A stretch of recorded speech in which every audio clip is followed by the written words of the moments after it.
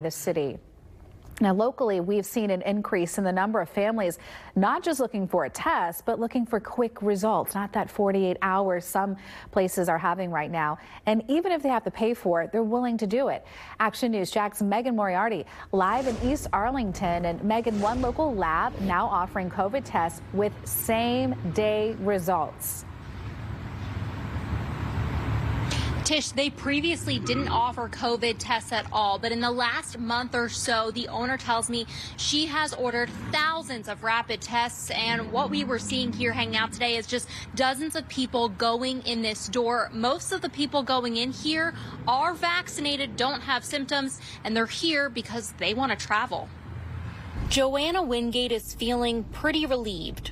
We are heading to the Bahamas Wingate is fully vaccinated, but many countries are now requiring a negative test regardless of vaccination status. Her and her family have been searching all over town for a test. Some went to Mayo Clinic, some went to the Kmart line, other people, but all the appointments are taken up. This is video of the Kmart testing site line yesterday in Neptune Beach. Wingate says by noontime she was turned away, the place out of tests completely.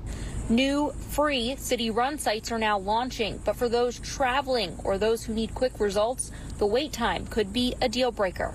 What we found is people will go to um, the drugstores and get a PCR test done, and then they don't get their test results back in time for their flight. And so they kind of call us frantically. These are not free, but you'll get your results, both a PCR or rapid, in just a matter of hours. Typically, a PCR test, which is the most accurate kind of test, takes between 24 and 72 hours for results. The test can cost between $129 and a little over $200. The lab, along with many others, don't accept insurance. You're really just desperate to get a COVID test.